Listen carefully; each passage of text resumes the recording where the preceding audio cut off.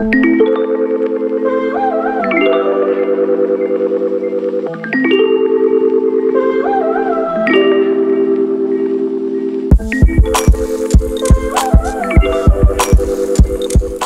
大家好，我是磊欢迎收看上午香赏屋。今天的旅游去来到那个树林秀泰鲁的金鼎楼。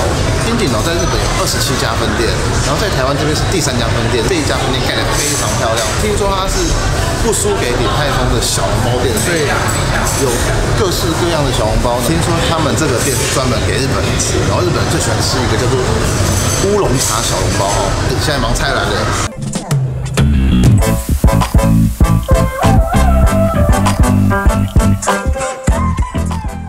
楼是家主打上海点心的中式餐厅，创立于二零零二年，招牌为小笼包、乌龙茶小笼包、虾仁蛋炒饭、红烧牛肉面、酸辣汤、东坡肉等等。那价位的部分，大家就先看一下菜单，但是他们好像不时都会一直更新菜色，所以未来都会有变化。金鼎楼目前在日本一共有二十七家分店，而台湾目前有三间。我们今天来的就是树林秀泰影城店，正是台湾的第三间店。创立近二十年的金鼎楼，为了与传统的市售小笼包店做出区别，在烹调手法方面也特别做出减油配方，不添加任何人工香料，保持食材天然的原汁原味，让顾客吃下的每一口都是清爽健康的保证。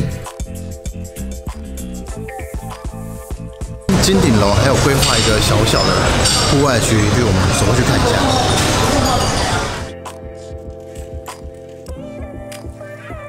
我们中华美食秘籍里面有说，小笼包好吃秘诀在于皮薄多馅，汤汁足。我们实际参访这家店的厨房，其中面皮从面粉的搓揉甩打拉步骤，一直到揉捏成面皮，都十分考验料理者的真实功夫。金鼎楼的师傅个个都是从最基层开始学起，一步步稳扎稳打，累积数年经验，成就出一颗颗美味的小笼包。即使经过时代变迁以及景气影响，但金鼎楼还是坚持使用高汤精华熬煮而成的鸡、猪肉皮冻，以高单价的原物料维持原有的多汁口感，绝不因为成本问题而影响餐点品质。在一次因缘机会下，研发出具台湾本土特色的乌龙茶小笼包。店将将严选货的台湾绿茶磨成粉状，并与面粉与乌龙茶内馅一同搅拌，制成色泽翠绿的诱人外观。搭配空气中阵阵弥漫而来的茶香，层层交叠的香醇滋味，让人食指大动啊！好饱啊，终于吃完了。那那个发表一下感想好了，我觉得那个乌龙茶小笼包真的味道还蛮蛮特别的，还蛮香的。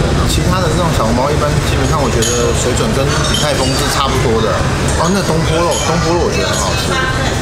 但是这里的炒饭的部分呢，我就觉得它呃比较普通一点，大概只有个六分吧。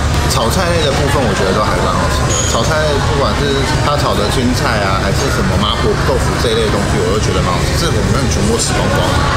以上是我们就是在这个金顶楼的这个用用餐心得啊。喜欢我们节目的朋友，记得帮我们按赞、订阅还有分享哦。好，那今天节目就到这边，大家再见，拜拜。